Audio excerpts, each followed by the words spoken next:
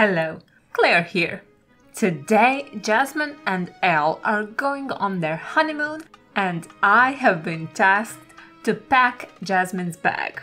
I have no idea where they'll end up, and I'm supposed to pack accordingly. That sounds manageable. BrickoMotion. Everything at the wedding went absolutely smoothly. Except for the incident we don't talk about. And now it's time for the honeymoon. They are traveling with the Carpet Tours traveling agency, with which you never know where you'll end up, even if you think you know where you're going. So, how do you pack for such a trip? By imagining real and wild what if scenarios. I'll start with one of the more realistic ones. What if they simply went to the most classic of honeymoon destinations, the beach? She would need something sweet and summery. So I let myself get inspired by flamingos and just went for it.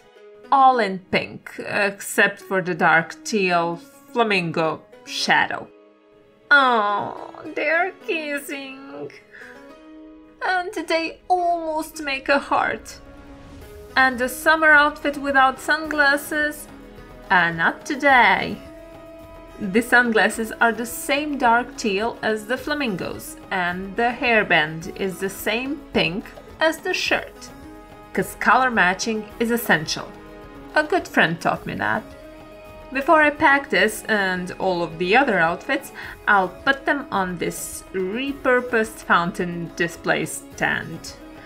Basically, only so I can take a picture of all of them together. I want a memento. After the walk on the beach, she might fancy a swim. And since it's hard to swim better than a mermaid, I'll simply turn her into one with golden fins and a swirly bubbly pattern. Cause that's what mermaids do. Swirl and bubble. Right? I can only assume that she'd let her hair down underwater uh, for nothing else than for the cinematic effect. And what an effect she'll get with this hairpiece.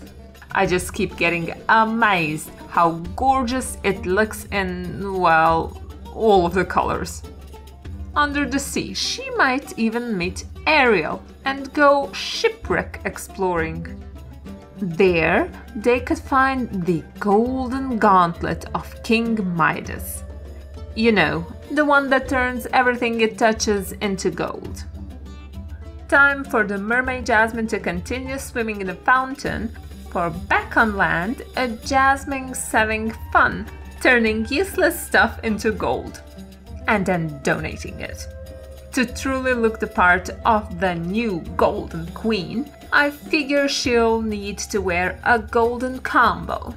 The glued on soulstone is there to break the goldiness a bit, and the sunglasses will protect her eyes from all of the extra shine that will now be with her. Y- you know, because gold is very reflective Never mind. When she gets bored of turning everything into gold, or she just doesn't want to worry about all of the paradoxes the gauntlet creates, she'll be free to parade as a peacock on a costume ball, where golden highlights are a must. I used a lot of stickers for this one to get the majestic look I was going for. If you look really closely, you can even see what a patchwork of stickers everything here is. Really elegant. All the golden swirls make the costume look completely over the top, but since that's what I was going for, it's great. You should always have an over the top outfit close at hand. You never know when you'll be invited to a ball or for a swim in the fountain. So better be prepared. What if Jasmine and Al wanted to reenact their engagement scene? You know, without Jafar ruining it. She would need her lavender dress, with the glued on sapphire, of course. And if Jafar happened to show up and send both lovebirds to a land of ice, she would need a warm cloak. So I'll pack her one. Well, there's definitely no denying she looks good in lavender, and we'll ignore that her belly is still showing. Or even better, let's assume it's a magical cloak that warms the wearer all around. Yeah, I like that explanation. I'll go with that. Now, what if, and hear me out here, they went through a portal into a parallel dimension in which Jafar was the ruler? they would need to be able to hide in plain sight. So, for example, she could pose to be Jafar's daughter. In an outfit very similar to his, she could just demand not to be taken prisoner. Mm-hmm. And everyone would believe her. Well, Jafar might not. Um, he would probably know if he has a daughter or not. Nevertheless, I feel she would even be eligible to enter the Best Red Snake Queen contest. Not that many participants registered for now, but I believe it's gonna be huge. I'll pack the outfit. Black and red suits her. On that note, with a completely red and gold attire, she could lose herself amongst the hordes of Red Jafar followers. What I'm worried with this disguise is that Jasmine and Al are not going to be able to sustain it for a long time. They'll probably have to help an orphan at some point, and that's how they'll get discovered. Hence, a new disguise is in order. How about she puts on a. wait for it. carpet costume? Ha! Yes, I know it sounds silly, but here's the deal no one will be expecting it, so no one will be searching for her in the carpet section. Duh! And look at this tiger in the back. Isn't he just roaring? Rah! If you think her bare arms would eventually give her away, hmm, I've got you covered. Or better to say, I have her covered. And if you still don't believe this would work, here's the test. Where where is she? She was just here a moment ago, and now I can't find her. The only problem with this camouflage that I can think of is that Carpet is also a known good guy, so uh, the guards might be looking for him too, after all. Oops. Um. So, what if Jasmine and Aladdin switched their clothes? Jasmine could wear Al's wedding outfit just with a slightly smaller headwear. She looks amazing, as always, but maybe too much like Al. That would not be as helpful when they're both on the run. Hmm. How about I stop trying to turn her into one of her friends and just change her appearance? I figured I would dye her hair blonde and design the rest of the outfit to match. The blonde hair changes her so much. I kept the tealish blue elements she's famous for in the hope at least her friends would be able to recognize her.